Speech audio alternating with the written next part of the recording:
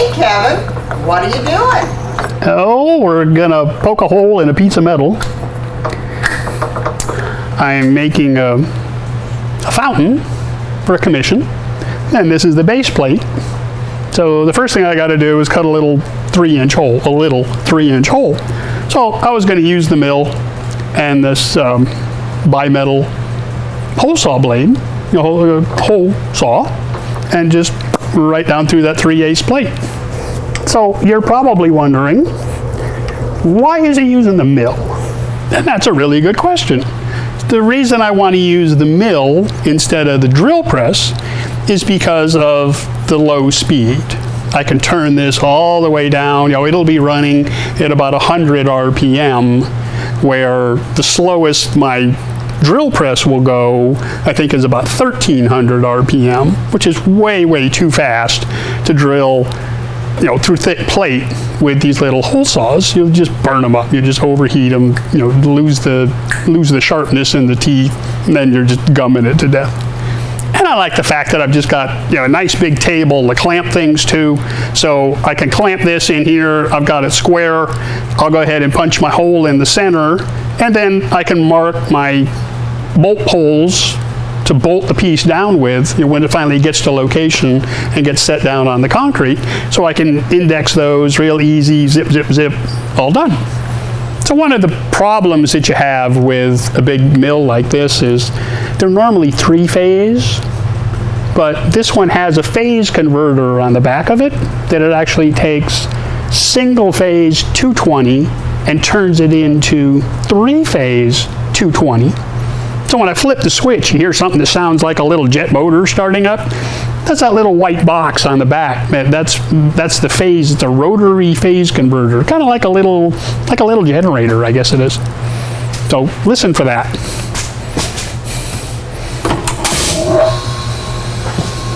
That's the phase converter. I haven't even turned the mill on yet, but that's what's running in the background. As far as setup on the machine, really, really easy. You know, the on-off switch is up here, and it's a forward or backward switch, depending on which way you flip it. You know, so you can make it run one way or the other. On the other side of the machine is where the high, low range or neutral switch is, which works with the speed control up here. And I've just got it in the low range. So let's fire it up. Wrong way. and you can hear how slow this is running.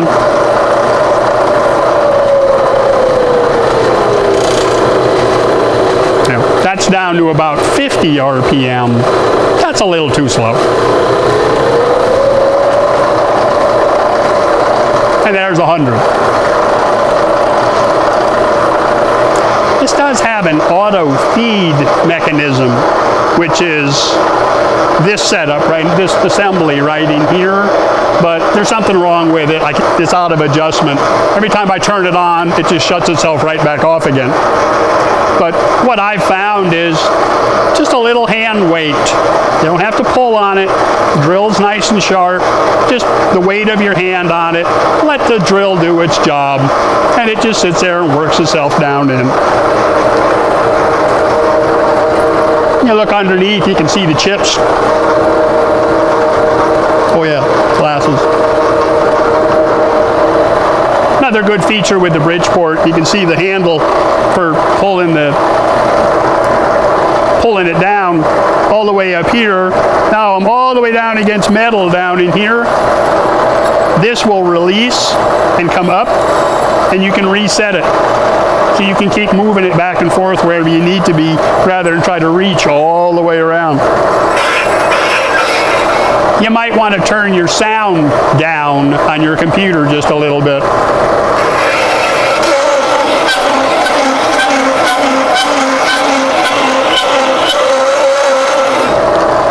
Little shot of cutting oil on it.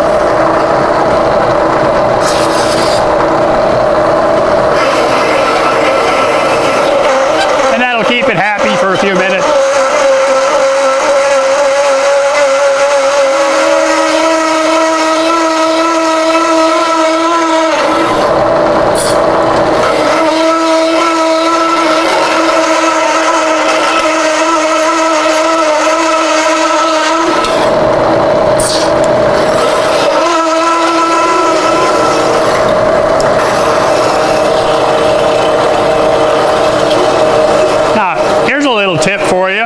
You heard all that noise that was coming off as it was cutting and working great. I was putting cutting oil in it. Now all of a sudden, it stopped making noise. What's up with that? See, what's happened is the, the kerf has gotten deep enough where every time I would bring the bring the hole saw back out again and it would bring some of the chips with it. Well now the kerf is deep enough where the chips are staying in the bottom of the hole. So as the saw is actually turning and trying to cut, all those chips that are stuck down in the bottom of the kerf are acting like little ball bearings. They're just rolling around inside there, keeping the teeth from going all the way down inside. So back it off, get the air hose, poof poof,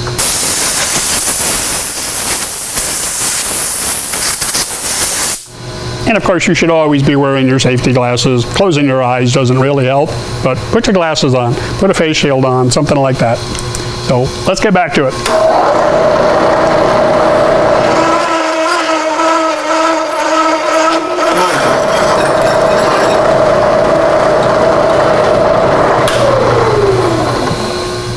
And just nice and clean and pretty, nice square edges, you know, straight. So I'll come in and grind this just a little, just to get shiny metal. I'll flip it over, grind it on the bottom, bevel it just a little bit. So when I set my tube down inside here, I can get a nice clean weld on the top, get a nice clean weld on the bottom. The dish will be set up on top of the pipe that I put in. Good to go. Build, build, build. Build it up from there. So that's why I like using the Bridgeport for hole saws, big hole saws, you know, index and stuff, drilling with it. You know, it's, it's so much cleaner, neater, more precise. You can lower that table down. You know, this table is a lot lower than the, uh, the table on the on the drill press is, so I don't have to pick these big heavy plates up as high. You know, nice machine. Glad to have it here. So I'm going to go ahead and change this out, get this hole saw off here, and get the right size drill bit that I need so I can drill my holes in the corners to bolt everything down. You guys are to hit that subscribe button that's right down there so you can keep track of what I'm doing. And if you get the chance, pop out to my website, see what's going on out there, maybe sign up for my newsletter. I'll see you guys later.